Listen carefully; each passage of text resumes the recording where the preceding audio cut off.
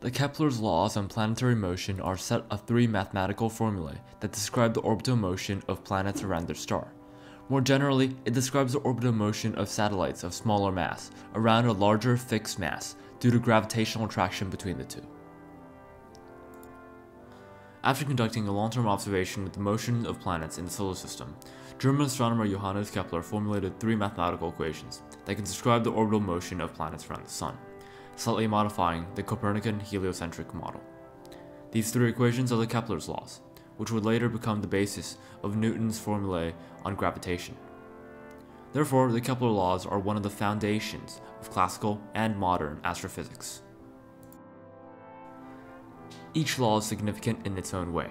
In Johannes Kepler's original words, the first law states that the orbit of every planet is an ellipse with the Sun at one of the two foci which can be seen in the equation here.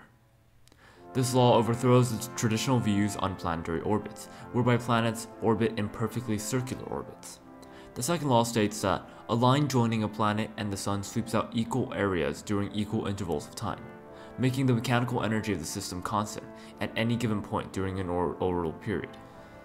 It is important to note, however, that Kepler derived this law independent of the law of the conservation of energy. The third law states that the ratio of the square of an object's orbital period with the cube of the semi-major axis of its orbit is the same for all objects orbiting the same primary, which is what Newton later used to derive his law of universal gravitation. These three laws are usually written in the format of mathematical equations for practical usage for astronomers and astrophysicists.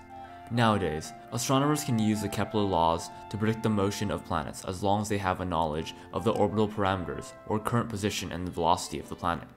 Currently, the Kepler laws are being widely used in detecting black holes, discovering exoplanets, predicting asteroid impacts, spacecraft guidance, and investigating planetary sciences.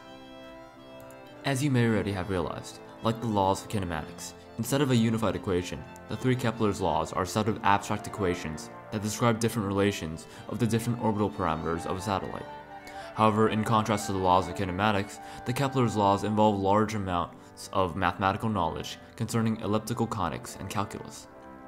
Therefore, large amounts of mathematical derivation and calculation must be done to predict the motion of planets in the future, based on existing data, costing large amounts of time. To counter this problem, this online calculator has been made with the necessary calculations already derived from the original Kepler's laws and programmed into this calculator. Now, users could just input the velocity and position of a satellite relative to the center mass at a particular point in time, along with the mass of the central mass, to obtain the orbital parameters of the satellite as predicted by the calculator's algorithm. Moreover, one could also find the position and velocity of the satellite at any given time in the future with the calculator. With this calculator, users could just predict the motion of a satellite in the press of a few keys. However, a few things to note is that this calculator does not consider relativistic effects, so don't use this for black holes, neutron stars, or perihelion precession. Moreover, the original Kepler's laws assumed a fixed central mass, so N-body systems, like Pluto and Charon, also won't work with this calculator.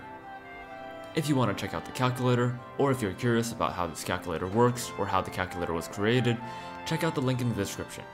Also, check out these other videos right here that explain the equations of Newtonian gravitation, special relativity, and the rocket equation.